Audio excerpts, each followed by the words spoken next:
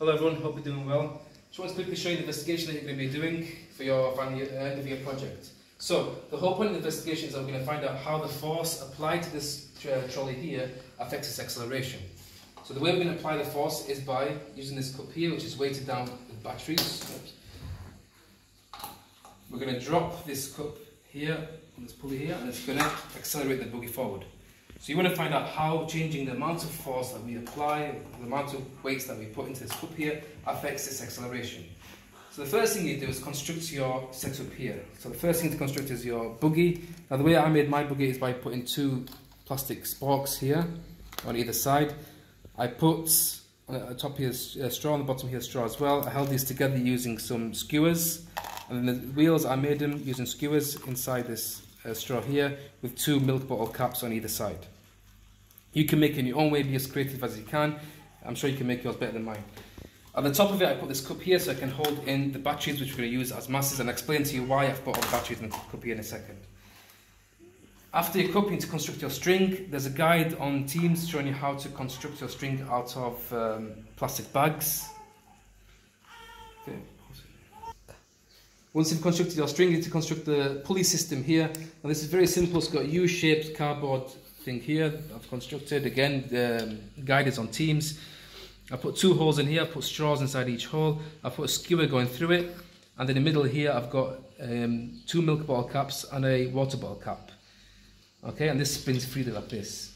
So the point is that the string sits on top of the pulley, and then you let go, and it pulls down. Now, this might be better than the table here.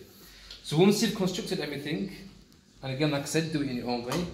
Um, the ramp, I made out of two cardboard boxes, two cereal boxes, Weetabix box here and uh, got a Cheetos box there. I joined them together using this little shape here. Again, there's a guide on Teams that tells you how to do that.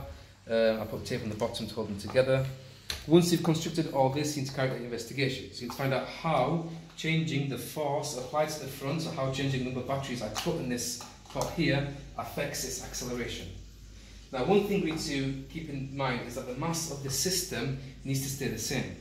So the system includes this boogie here, includes the string, and includes this pot here at the front. This is the whole system. For this investigation to be correct, the mass of this whole system needs to be the same in every uh, run. The way we do this is that if you see here, I've got five batteries in here, and I've got one battery in here. So altogether, I've got six batteries. So after I've done my first trial, so do it three times, find an average, um, time how long it takes to get there, from that find acceleration, I'm going to increase the force applied to the front. So to do that, I move one battery from this pot here and put it into this pot here. Now I've got two batteries in here, I've got four batteries in here, altogether I still have six batteries. The mass is still the same across the whole system, but I've increased the force acting to the front. So you can do that, do it for all six weights. You can get the batteries from your AC remote, I'm not going to tell you where to get batteries from.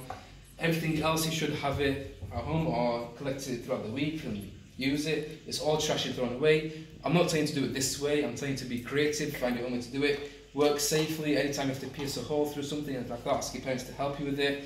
Make sure you clean all the food stuff and all the food residue to make sure that we don't, you know, yeah. Have fun with it, enjoy it, ask us for help, ask a teacher for help, ask me on Teams for help, put a comment on this video if you need help. Good luck.